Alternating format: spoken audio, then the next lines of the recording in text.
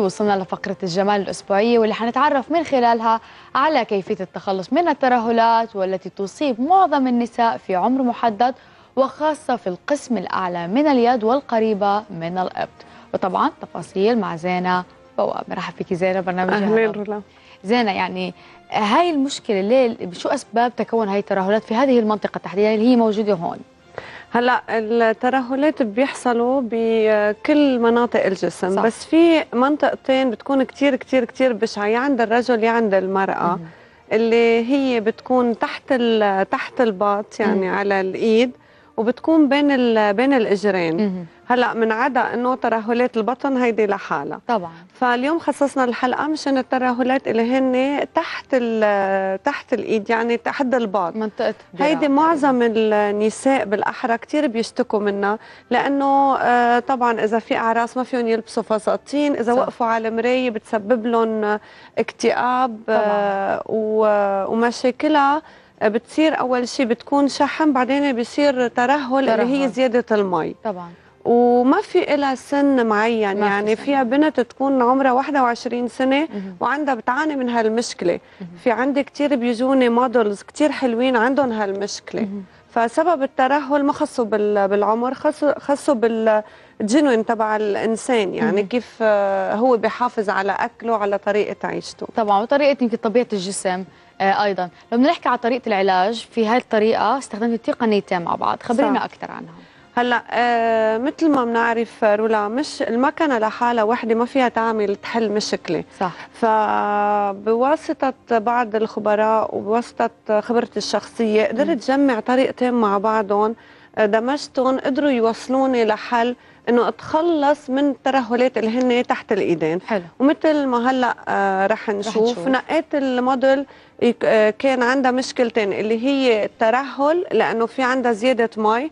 بسبب آه، ما بتشرب كتير مي أو تعرضها للشمس كمان. أثر كتير على إنه صاروا إيديها كتير مجعدين. و plus الدخان وكل هالقصص هيدي مم.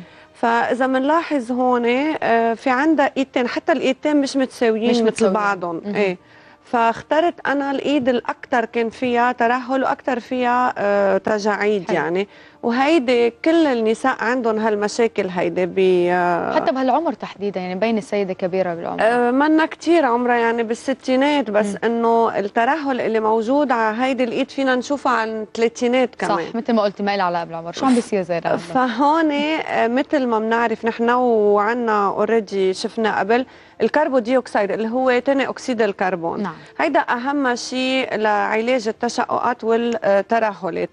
ما بيوجع ما فيه شيء يعني خطير. هي هو هواء مجرد عم بفوت على المنطقة اللي فيها الترهل. مم. شو بيصير؟ هيدي المنطقة اللي فيها الترهل وفيها ال fat اللي هن الدهون دهون. هيدي اللي سببت هالتراكم دهون سببت الترهل مم. شو عم بيصير هون عم تمتصها الخلايا مهم. عم بتسهل نشاط ترجع الدورة الدموية بهيدي المنطقة بالذات.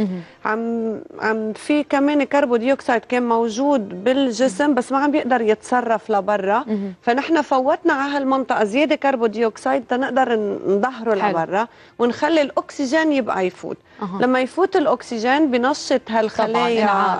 كلها بينعشها بيصير في كولاجين بنشط ال- البشرة مهم. وبخلي الدورة الدموية ترجع تتنشط بنفس الوقت بكون عم كسر الدهون أنا البلوكات. الدهون اللي متراسبة محل ال- المكان اللي نحن عم عم نعالجها ما هيدي الطريقة لحالها بتكتفي؟ اليوم في Slim in Shape مكنة كتير مهمة اليوم. على نزلت. على الأسواق ال- الأمريكية وعنا إياها طبعا اللي وأوروبا كمان. آه تعمل شو عند ال infrared وال radio frequency دمجتهم مع بعضهم.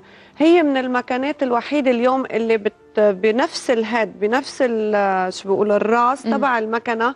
بنضخ ال radio frequency مع اللي هو ذبذبات ال- الإبر الكهربائية. مع ال infrared سوا عم بحمل منطقة لهال fat اللي انضرب بقلب من وراء الكربوديوكسيد. بحميه ليتفتفت. لينزل. وبنفس الوقت ال radio frequency عم بتشد وتبيض البشرة حلو يعني إحنا شفنا يمكن لقطة سريعة عن قبل وبعد بس لو نرجع أطلب من الشباب نرجع نعرضها كمان مرة لا- لأنه لاحظت الفرق كتير كبير كثير كان أنا تفاجات كمان بالهيدا بس ما بعرف ليش كثير هلا حنرجع هلا حنرجع نعرضها أكيد. زينة قلتي لنا انه اخترتي الإيد حتى اللي فيها ترهل أكثر سؤالي هو إنه أنت قلتي هناك يعني متعودين دائما هناك عمليات شد لليدين. شو الفرق بين هالتقنية اللي هي دمجتي فيها تقنيتين وبين شد اليدين؟ ليك الشد اليدين اليوم مثلا في كتير ناس بيقولوا بدي أروح على الجراحة. أوكي. ليش؟ طالما في اليوم عنا تقنيات عم عم تنوجد بتحل هالمشاكل هيدي دمجت أنا الكربوديوكسيد كتير مهم لعلاجات أي أي مشاكل عنا يا إذا هي كان حفر بالوجه إذا كان scars إذا كان شو عم. الطب عم بيكتشف هي طريقة برازيلية من الأصل يعني. عم بيكتشف قديش مهم هالكربوديوكسيد لنقدر نستخدمه بس بدنا نعرف كيف نستخدمه. اليوم لما عم تعملي عملية أنت بدك تشق تفوتي على العملية صح. ما بنعرف النتائج كيف حتكون plus الشفط ورا الشفط بدك تعملي شد. اليوم فينا نحلها بظرف ست جلسات فقط و- ست جلسات. بدون أي ما تضطر إلى أي عمليات لأي مستشفيات لاي شيء. أكيد. زين في النهاية يمكن نصائح عشان ت- تكون النتيجه مثالية 100% بعد ما يمكن يستخدموا هالتقنيه اللي أنت خبرتينا عنها. النصائح إنه لما بنعمل هالتقنية أنا عم بعملها لل future لبعدين للمستقبل. نشطنا الخلايا وكل شيء يشربوا مي يعملوا رياضة. أكيد. الرياضه هي الحل الوحيد والأمثل صح. أكيد. يعني في النهاية برجع بذكر مشاهدينا إنه من خلال المقتطفات كان هناك إيميل لزينب بواب إذا عندكم أي مشكلة أو أي سؤال حول أي طريقة بدكم تعالجوا فيها أي مشكلة بتعانوا منها بتقدروا تبعتوا وتراسلوا زينب بواب على الإيميل اللي ظهر على المقتطفات. شكرا كثير لك زينب. الأسبوع الجاي بنشوفك بموضوع. جديد وحل جديد. أكيد أكيد. شكرا لك. thank you